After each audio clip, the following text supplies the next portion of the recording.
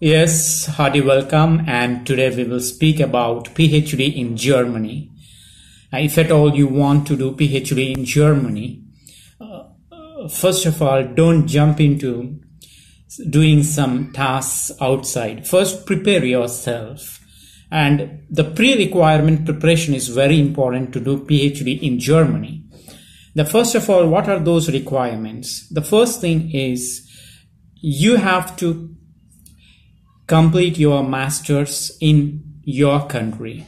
Now, if you are, if you don't have that certificate in your hand, then you cannot apply. You're not eligible for applying PhD in Germany because masters is the minimum qualification that you require to do PhD in Germany.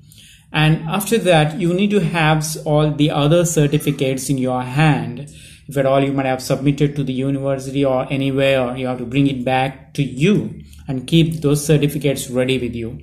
And write one motivation letter. Motivation letter is nothing but you have to write in few words what motivated you to study PhD over in Germany and you need to have some three recommendation letters from professors and recommendation letters also are important and uh, you need to also have IELTS, TOEFL, GRE or GMAT depending upon the subject you are applying you must have uh, you must have done either either of these IELTS or TOEFL, GRE or GMAT so do it. Now you have to prepare in this way and the next thing is like to have some idea about uh, that scholarship DAAD that scholarship. Just have some idea over browsing or reading some books what this scholarship is about uh, how it can help you bring some money to study PhD in Germany. And uh, the other very important thing be ready with CV and CV must not be of an international standard CV. You must change here because in Germany, your curriculum vitae must be in German style. So you need to prepare European CV, that's German CV. And that's all, that's what they accept. That's what they give credibility and authenticity. So prepare nice CV, a very good CV uh, of German style and these are the pre-requirements. If at all you have any any choice to decision to do phd in germany first get ready with all these things. And if you fulfill all these requirements then things will become easy. Afterwards after applying if they ask you to bring that and this then it becomes a great deal and sometimes you will lose out so many opportunities so once you are ready with all these documents, the next step starts here. Now you have to start searching for the universities. Um, I think I have to say one more thing here. Along with all the requirements, you must also study German as a part of going there and sustaining surviving there. It is not a mandatory thing like uh, that's why i don't want to mention but i have to mention because of the conditions existing in germany you need to learn german of a1 level at, at least to go there and survive properly with some jobs. Okay so if after that now you have to start applying to universities now to apply to any universities, again, you have to make a secondary preparation here before applying. That is keeping your research topic ready. What is that topic that you are going to research upon? And secondly, you have to be ready with the research proposal. And these two are very important. And you must have some ready-made email respectfully um, a prepare email. Only you can change some things like the name of the supervisor uh, clearly, but don't use dear sir, madam, or uh, dear respected sir. But always you have to mention the name of the person that you are applying to.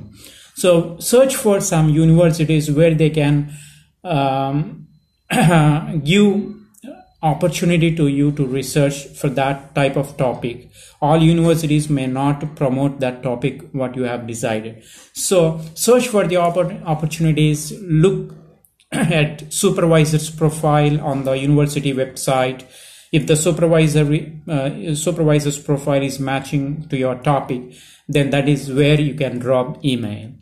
So you need to drop an email because you have to drop again and again. Don't think that it is an easy process.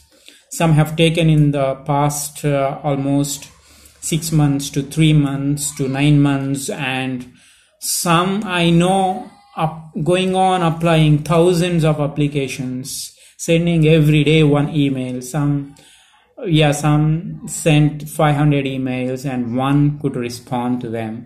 So it happens so this way. So don't get discouraged. Don't just write one email somewhere and wait for the for the reply. So write go on writing every day. Every monday you write one. That that's what i recommend. Every day you can write up to friday but don't write on saturday and sunday write on Monday is the best time to write your email to any university. So go on doing that for some time. So it so happens one one or other day somebody will respond to you positively, but don't drive to the minimum of one to ten or twenty. But I, I, if you ask PhD students right now in Germany, they tell how many applications they might have. Uh, uh, sent uh, before they got they had got positive response. So here what you can do now you have to go on sending emails. Don't get discouraged here my dear. So go ahead go ahead. And at the end you'll get response. Then you can if when supervisor responds to you positively you can send directly research proposal along with cv later on later on your certificates and uh, many things. So in this way what happens uh, like uh, university will verify all your documents and all, always uh, look for the admission requirements before you do all this stuff because sometimes they may ask you something and you don't possess that in hand then it's a problem. But i have mentioned everything almost as a pre-requirement stage what you have to collect all those things. Some may ask sometimes they may not ask. TOEFL then well well no not a problem but most of them ask. So that is what i can say to you. Go ahead sending research proposal to supervisor and in germany and she will or he will agree to you and see after all this uh, verification they will conduct one telephonic round or Skype interview where you have to show up your passion, where you have to prove yourself in the interview that you are able to research in Germany properly and you are very dedicated, committed and passionate to do that.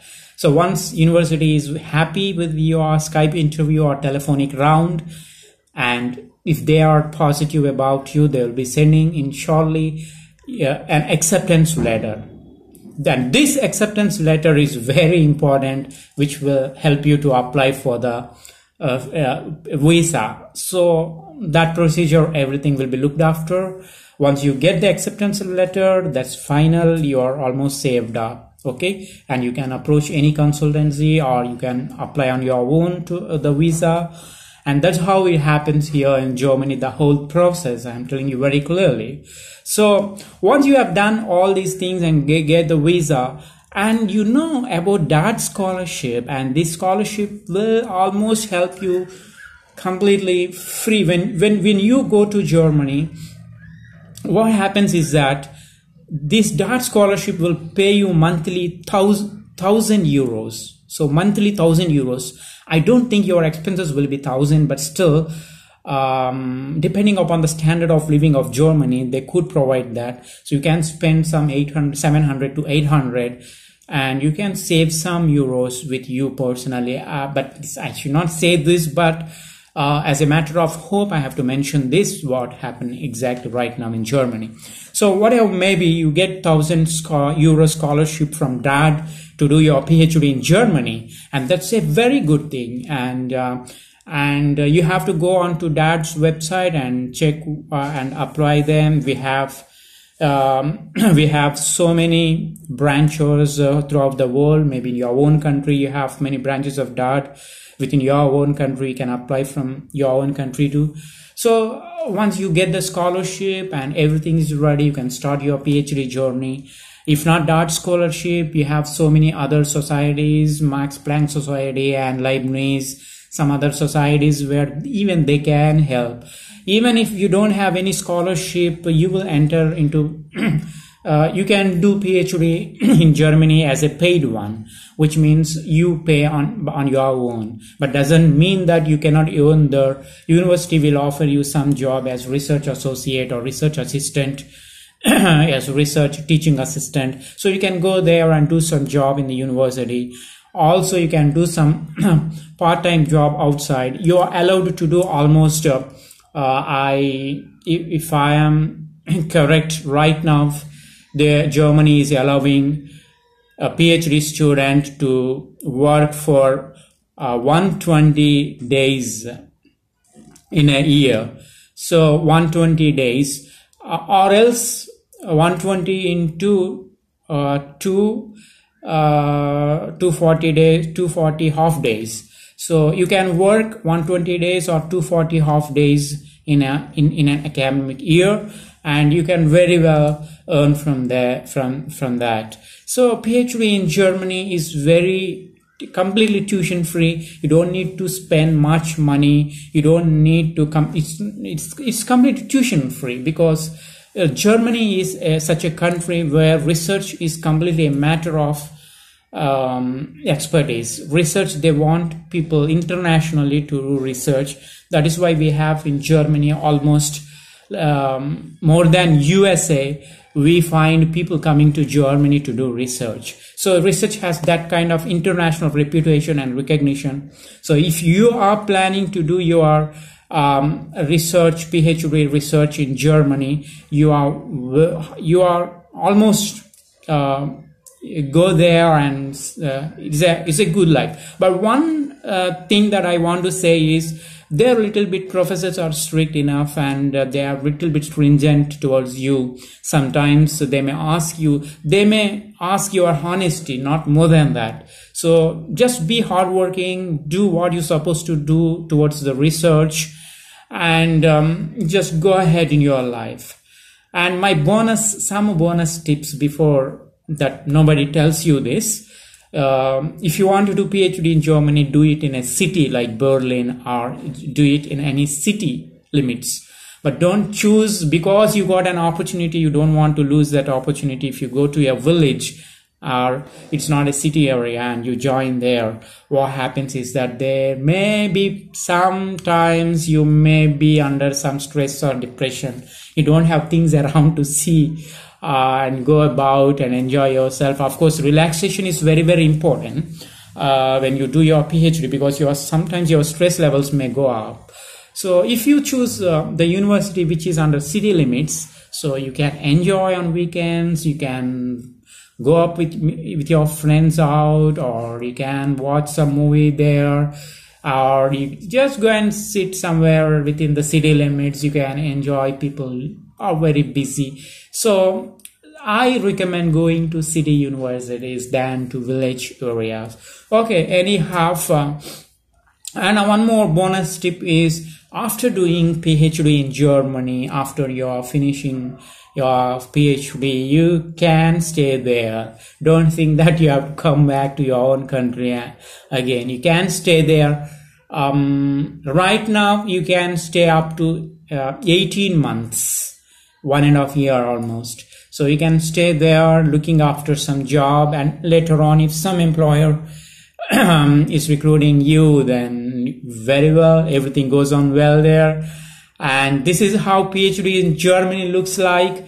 PhD in Germany is a very very good option if at all you want to do it seriously and if you have that passion research oriented person if you fulfill all the require requirements what i've been saying if you want to know what are all the requirements just come back to my video again and watch again write down all those requirements and uh, be prepared and go to Germany. It is completely tuition free and um, you don't need to spend money if you have scholarship.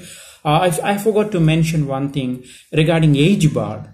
Now, in PhD in Germany, there is no age bar as such. You can uh, do PhD, but but if you want scholarship from DAAD, there is one rule is your master's or your last acquired qualification must not be older than six years. Now, maybe some, I'm just telling this for those people who are in 40s and 50s. If they want to pursue PhD in Germany, they can very well go uh, with paid Germany, that individual uh, PhDs. But um, uh, otherwise, if your qualification is not older than six months, of course, it happens. Uh, it is very common. So you have very latest qualification. So um, you can get scholarship. Only the scholarship matters there. So what more I have to say about PhD in Germany? I think I'm covering everything each bit by bit uh, to the best of my knowledge. And um, there is one structured PhD, but don't worry about that. That's not so uh, important right now. And um, coming to the atmosphere there, let me give you some bonus. My mind is just trying to giving you maximum in this video. Uh, while doing PhD, you can do it in you can do it in English, okay? But your social engagement is not at all in English. But if somebody says you like your consultancy or um, some others say you that you can do PhD in, in in the medium of English language, and you you are so much negligent to learn German, but it's not so there. English is nothing there. English just in that very narrow research area you have english. But once you step on into the airport to the university to the communication to social engagement speaking to people communicating to people all everything is german. So if you don't know german you will suffer suffer a lot so very important thing. Anyhow you have to learn being there. So learn it in your own country. Get that a1 level. Listen listen to german audio every time. Get one idea on how to speak german. So get going there and then you will feel very good doing phd in germany there. So that's it. I don't want to say more than this. Thank you very much for watching this video. And if you want more information about uh, doing phd uh, just visit my website phdstudytips.com thank you. Bye